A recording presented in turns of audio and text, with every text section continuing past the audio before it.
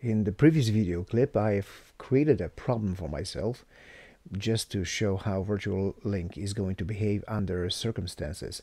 So R4 is authenticating area 0 in the routing process, not on the link. Um, and authentication works, but after losing that interface, switch 2 loses the reachability to all those networks here on the right hand side.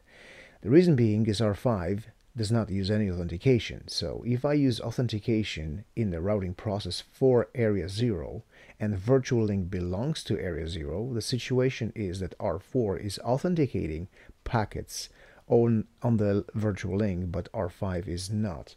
So to quickly illustrate a point is show IP OSPF neighbor.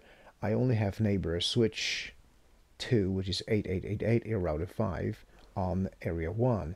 So show run section router OSPF, this command means that every link in area 0 will be authenticated. I should have done this obviously on a link basis that would avoid this situation but I wanted to show the point so how do I fix it now so show IP OSPF interface brief as a result of this command highlighted all interfaces in area 0 will be authenticating the packets. So, as a result of that, show IP OSPF virtual link. On R4, we have enabled authentication using message digest, but on R5, show IP OSPF virtual link, nothing of the sort. So how do I fix it? Two ways. One, I can move the authentication method on the link basis here using this E01.3 instead of a routing process or I can enable authentication method message digest which matches R4 on R5 virtual link and let's do that first so I'm gonna go to R4 R5 do router OSPF and area 1 virtual link towards 4444 use message um, authentication message digest so this command will turn on the authentication, which is exact same method that we used in the routing process on R4, but here it's on the virtual link only. And that should suffice to recreate adjacency over virtual link, and here we go. So now, if I go back to R4, show IPOSPF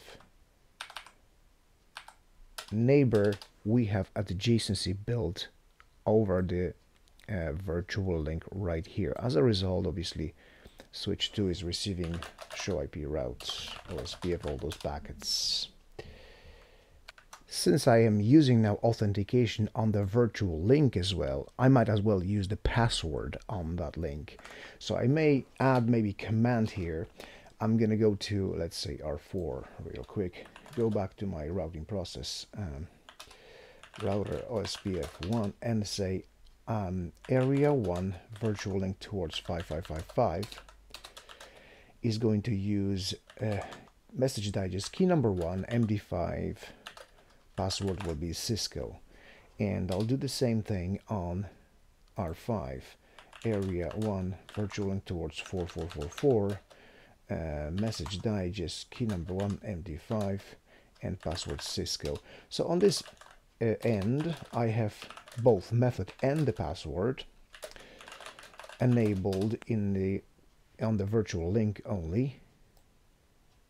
So both methods message digest of authenticating packets and password with a digest key.